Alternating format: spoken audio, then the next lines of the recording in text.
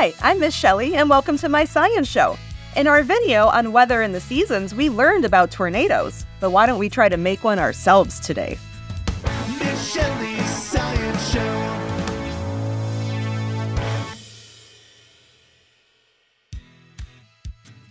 To make this model, you're going to need a glass jar with a screw-on lid, some water, vinegar, dish soap, and then if you want, you could use some glitter or some food coloring, but it's not necessary. Before we begin though, let's pause and take a look at our Ronnie's rule for this experiment.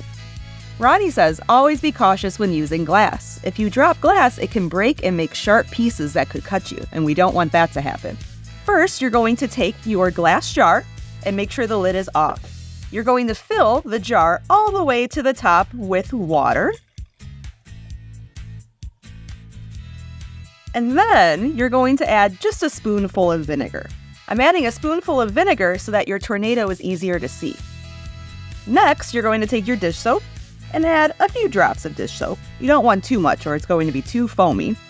And then if you have food coloring or glitter, you can add that last.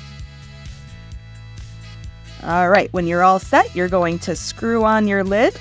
Make sure it's on there nice and tight. Now we need to take this model and turn it into a tornado. So what do we know about tornadoes? We know tornadoes are violently rotating columns of air. So how can I make this model work? I need to rotate it. So I'm going to take my jar and carefully rotate it nice and fast until you see a tornado. You can see the glitter spinning around there too.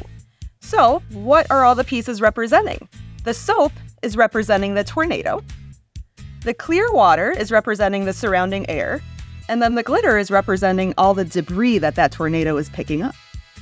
And that's our model tornado in a jar. Why don't you try it yourself and see if you can make your own tornado? I hope to see you next time on another episode of Miss Shelley's Science Show.